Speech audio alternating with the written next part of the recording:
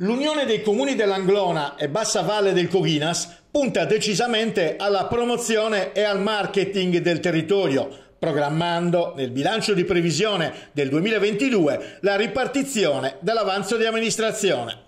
A darne notizie il presidente sindaco di Osilo, Giovanni Ligios. Nel bilancio di amministrazione 2022, queste le sue parole, abbiamo applicato l'avanzo di amministrazione, una parte cospicua delle risorse dell'avanzo, 100.000 euro, saranno destinate alla promozione del territorio in continuità con iniziative intraprese in precedenza, come ad esempio la partecipazione all'Expo di Lugano e la realizzazione di un nuovo logo dell'Unione con la collaborazione degli studenti delle medie. Il nostro obiettivo a breve e a lungo termine prevederà una fase di strutturazione delle attività ed il coinvolgimento di tutti gli attori principali e dei portatori di interesse dei territori. Le risorse in questo primo passaggio organizzativo saranno ripartite per redare e adottare un piano di marketing e di promozione. A breve verrà pubblicato il bando per la selezione di un esperto di marketing, creare l'Anglona Digital Library,